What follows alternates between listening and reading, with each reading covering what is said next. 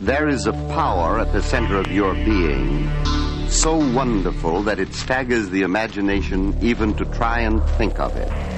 It is this thing called life. It is in you and in everything and everyone.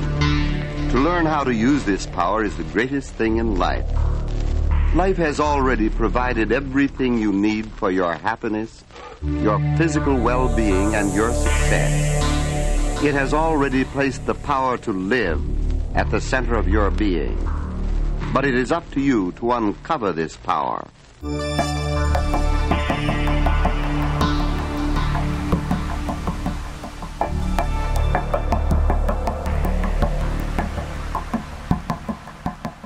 What do you think that life holds in store for you?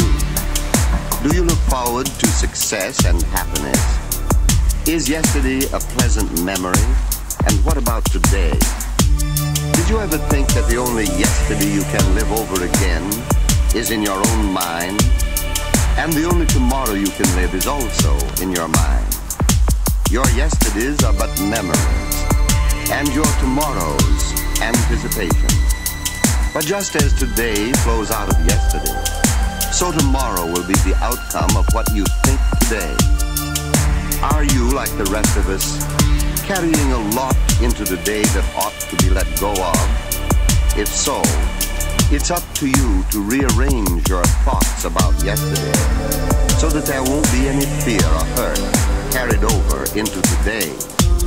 It's up to you to look confidently forward to tomorrow so that today you won't be plagued by the thoughts of what might happen in the future.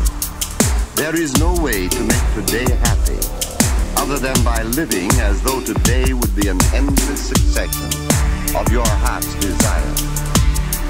Did you ever take time to think things over and to wonder what is back of this thing called life?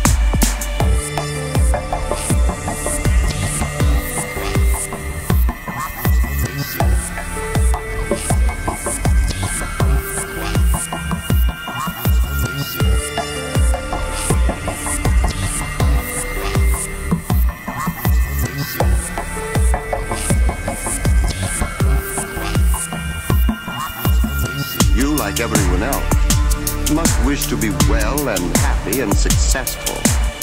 And don't you think that this thing called life must wish us all to have a full and a glorious existence? This were not true, why would you have all those secret longings of your heart? For your imagination must flow from some secret source.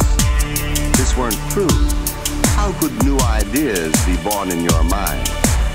Seems as though there is an irresistible something trying to interpret itself in everything and in everyone. Little seed planted in the ground strives to express itself, to blossom, and to bear fruit.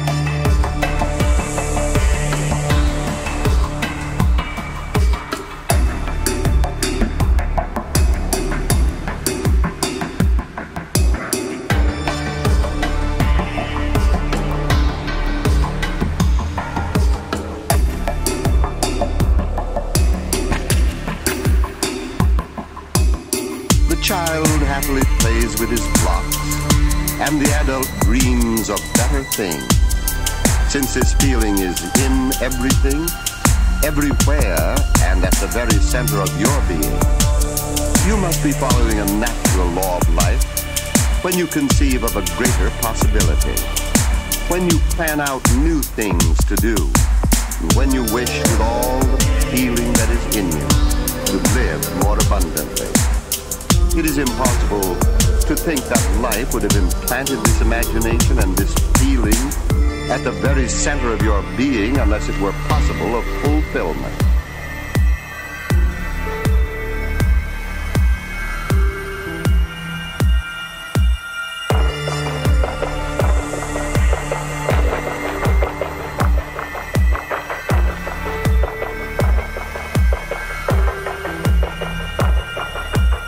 Suppose someone were to say to you that life is what you make it, that it really is up to you, and that the imagination that paints all nature in such vivid colors is trying to do something for you, which of course it can only do through you. Something that will make your life happy and colorful.